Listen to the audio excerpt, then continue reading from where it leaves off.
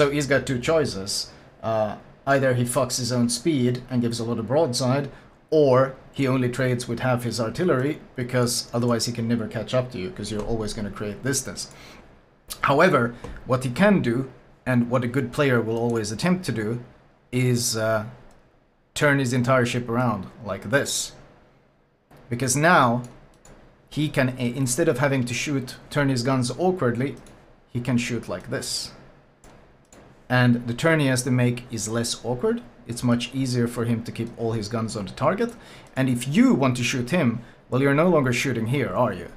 You're no longer shooting there, but you have to shoot all the way over here. So you you're the one who has to make this awkward fucking turn giving broadside and sabotaging your speed in order to get the shots in.